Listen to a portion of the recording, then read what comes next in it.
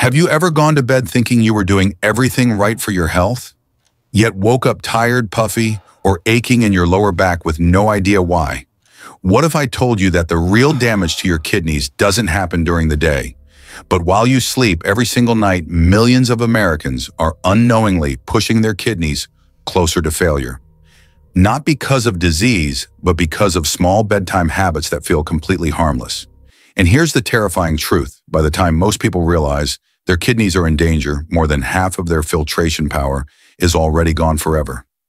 No warning pain, no alarm bell, just silent decline night after night. I'm Dr. Ethan Cole, a kidney specialist who spent over 20 years watching patients walk into my office, shocked to learn their kidneys have been deteriorating for years, and it all started with what they did before falling asleep. The good news? You can stop it. In this video, I'm going to reveal five nighttime habits that silently destroy your kidneys, and more importantly, how to reverse the damage starting tonight. Stay with me, because once you understand these hidden triggers, you'll never look at your bedtime routine the same way again. Now let's start with a habit most people never question, that small bag of chips, the buttery popcorn, or the quick frozen dinner you grab before bed, because you think it's just a little snack. I've had patients tell me the same thing smiling as if it were nothing. But when their blood test came back, the story changed completely. One man, Robert, 62, a retired construction worker, swore he was eating healthy. He'd stopped drinking soda, quit smoking, even walked every morning. Yet his blood pressure was climbing and his ankles were swelling. The culprit, his nightly ritual of just a few handfuls of salted peanuts and popcorn before bed. Here's what really happens inside your body. Sodium, the salt hidden in almost every packaged food, pulls water into your bloodstream. The more sodium you eat, the more your body holds onto fluid. That extra fluid increases the pressure inside your blood vessels, forcing your kidneys to filter harder, like a pump working against a clogged pipe. Over time, that pressure damages the delicate filters inside your kidneys, leading straight toward high blood pressure, and high blood pressure is the second leading cause of kidney failure in the United States. The American Heart Association recommends no more than 1 500 milligrams of sodium a day, but one innocent bowl of buttered popcorn can hit half of that. Add a sandwich, a can of soup, or those low-calorie frozen meals labeled as healthy, and you're already beyond the limit before you even go to sleep. So what should you do instead? Keep your evening light and kidney-friendly. Replace salty snacks with a small bowl of fresh berries, crisp apple slices, or unsalted almonds. These give you antioxidants and fiber that actually help your kidneys flush waste, not trap it. And before you buy anything labeled light diet or low fat, check the sodium line on the label. That's where the real danger hides. You might think a pinch of salt can't hurt, but for your kidneys, every extra gram adds to years of invisible pressure. Remember the damage doesn't happen overnight. It builds quietly until one day your doctor says the words no one wants to hear. Your kidney function isn't what it used to be. But only knowing this isn't enough because food isn't the only late night threat your kidneys face. Sometimes it's what you think is healthy that does the most harm. The next habit, surprisingly common among people who consider themselves fit, can be even more destructive, especially when done right before bed. You've cut back on salt, and that's a great start. But what if the very thing you believe makes you stronger is what's secretly wearing your kidneys down? Every night, millions of people finish their workouts, blend their protein shakes, or grill that lean chicken breast before bed, thinking it's the healthiest choice. Yet for your kidneys, that late night protein rush can feel like running a marathon while you're trying to sleep. Let me tell you about David, a 58-year-old gym enthusiast. He wasn't overweight, didn't smoke, and prided himself on his clean diet. Every night, right before bed, he'd mix a massive scoop of whey protein into almond milk for muscle recovery, he said. But a few months later, he started waking up exhausted with puffy eyes and dark circles. His lab results told the story his muscles couldn't, his creatinine had climbed, and his GFR dropped by nearly 20%. The reason wasn't his workouts, it was the constant midnight protein load his kidneys couldn't keep up with. Here's the science behind it. When you eat protein, your body breaks it down into nitrogen waste. That waste has to go somewhere, and your kidneys are the only organs equipped to filter it out. During the day, that workload is manageable because you're active hydrated and your circulation supports filtration. But at night, when your body slows down to rest, your kidneys should too. Flooding them with protein right before sleep forces them to work overtime when blood flow and filtration naturally drop. Over the years, that nightly strain can quietly reduce your kidney function even if you feel perfectly healthy on the outside. Now, this doesn't mean you should fear protein. You need it, but you need it strategically. The Journal of Renal Nutrition found that spreading protein evenly throughout the day, rather than eating a large portion at once, dramatically lowers kidney workload and improves filtration efficiency. If you already have diabetes, hypertension, or even early-stage CKD, this balance becomes critical. Instead of 40 grams of protein at night, aim for 15 to 20 grams per meal spread out. Choose plant-based proteins, lentils, tofu quinoa, or lean fish like cod or tilapia, which are easier for your kidneys to process. And never forget, hydration water is your kidney's silent partner in clearing that extra nitrogen waste. If you're unsure how much protein is right for you, don't guess get tested. Ask your doctor or dietitian for a tailored recommendation based on your GFR and body weight. Your kidneys aren't against protein. They just need you to stop overloading them when they're supposed to rest. You may be thinking, but I'm healthy, I can handle it. The truth is that's what nearly every patient believes right until they see their lab results. And just like that one innocent bedtime shake becomes a slow motion trigger for decline. But only knowing this isn't enough because even if your diet is perfect, there's another hidden behavior that can quietly undo all your hard work. It's not about what you eat, it's about what you ignore. So now you're eating smarter and spreading out your protein. That's great progress. But what if the next kidney killer has nothing to do with what's on your plate and everything to do with what you refuse to let go of? Literally, I'm talking about holding your urine overnight. It sounds harmless, Maybe you don't want to get up in the middle of the night, it's cold. You're tired or the bathroom feels a mile away. But that one small decision repeated over time can quietly set off a chain reaction inside your body that damages your kidneys for good. Let me tell you about Linda, a 64-year-old retired teacher who hated getting up at night. It's just inconvenient, she told me. For months, she ignored that full bladder pressure until morning.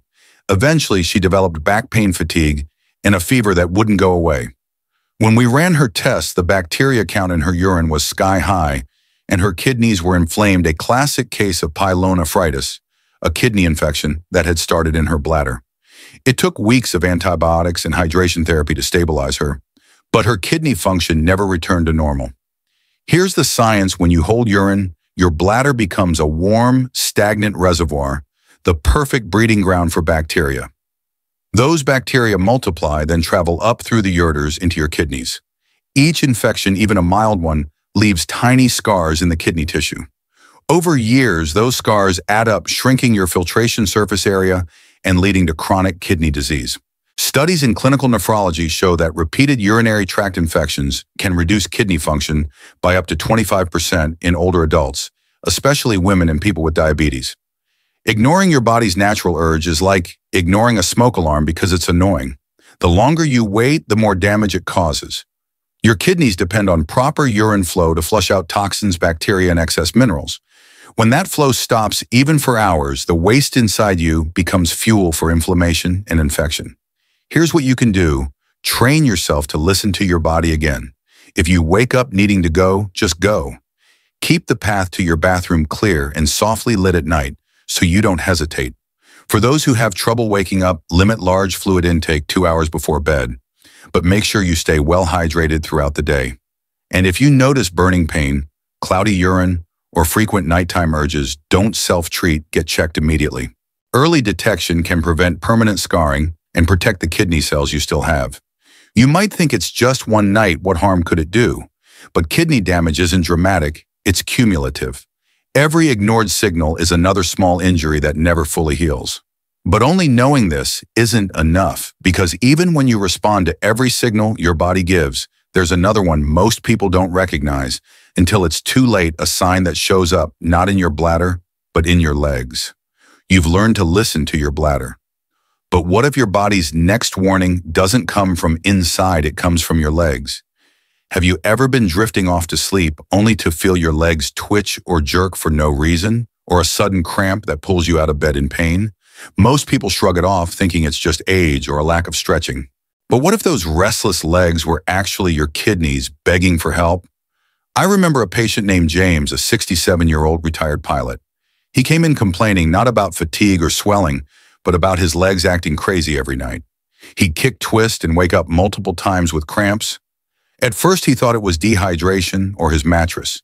But when we ran his blood work, his electrolyte balance was off.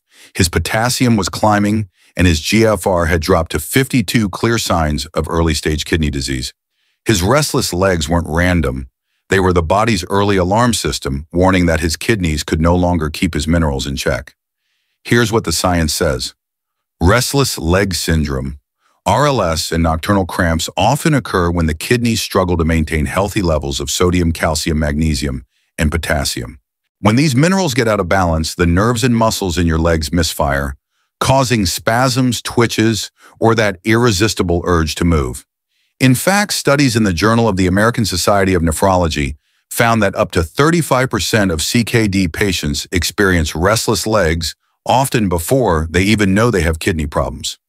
Ignoring these signs is dangerous. Each sleepless night adds stress to your nervous system, raises blood pressure, and worsens inflammation, all of which push your kidneys closer to exhaustion. It's your body's way of whispering, something is wrong. And when you keep ignoring those whispers, they eventually turn into screams. So what should you do? First, track your symptoms. If your legs are restless more than twice a week, don't brush it off, tell your doctor. Ask them directly about your BUN creatinine and EGFR levels. Those three numbers can reveal what your legs are trying to say. Second, check your iron and magnesium intake.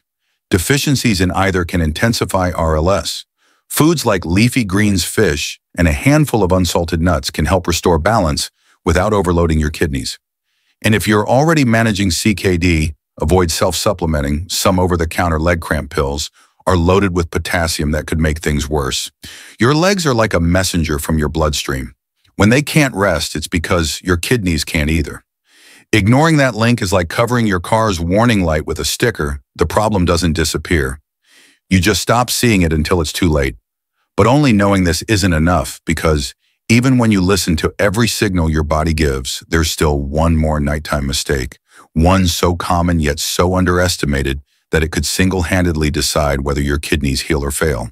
By now you've learned that your body never lies. It sends clues through pressure movement and even your sleep. But one of the simplest, most overlooked signals of all is thirst.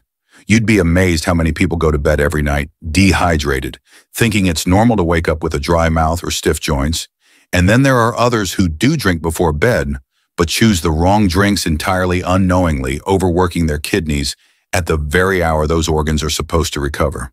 I'll never forget Caroline, a 70-year-old grandmother who came to me complaining of fatigue and headaches each morning. I drink plenty of fluids, she said. But when I asked what kind, she smiled proudly and said green tea and a little red wine every night. Her test told a different story. Her kidneys were struggling. Her creatinine had spiked and she was severely dehydrated. The caffeine from her tea and the alcohol from her wine were working together to pull water out of her body instead of replenishing it. Here's what's really happening. Your kidneys rely on a steady blood flow to filter waste. When you're dehydrated, your blood volume drops and your kidneys get less oxygen and nutrients. This creates a condition called pre-renal azotemia, a fancy term that means your kidneys are suffocating from lack of circulation. If it happens often enough, that temporary slowdown becomes permanent damage.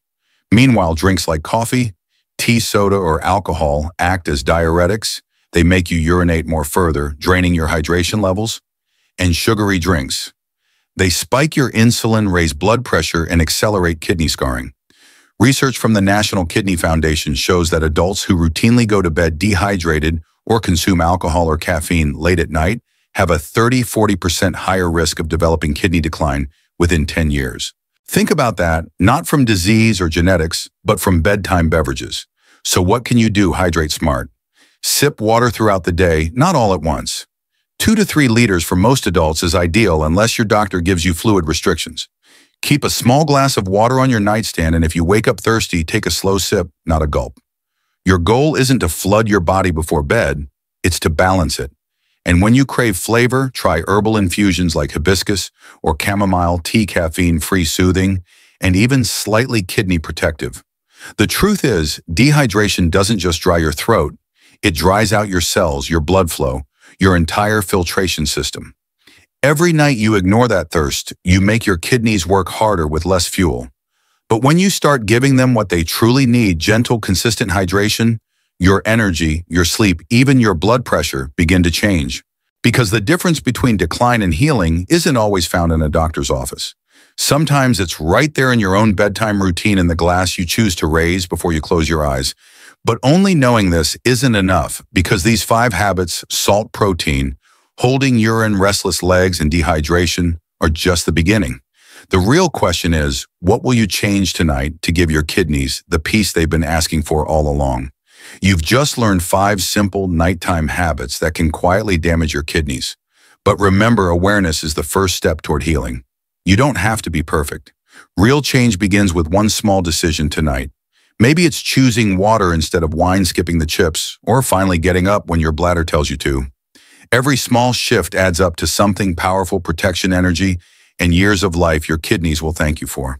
If this video opened your eyes or taught you something new, save it and share it with someone you care about because kidney disease is silent until it's too late, and you might help someone catch it early. And if you want more clear science-based health tips like this, make sure to subscribe and tap the bell icon so you never miss the next video where we break down the latest medical insights into simple everyday steps you can actually follow. Your kidneys work for you every second of your life quietly, faithfully, without complaint. Isn't it time you return the favor? Take care of them. Listen to your body and remember this truth. Your health isn't lost with age. It's rebuilt through awareness, consistency, and hope. I'm Dr. Ethan Cole. Thank you for watching. And until next time, take a deep breath, stay hydrated, and keep your kidneys strong.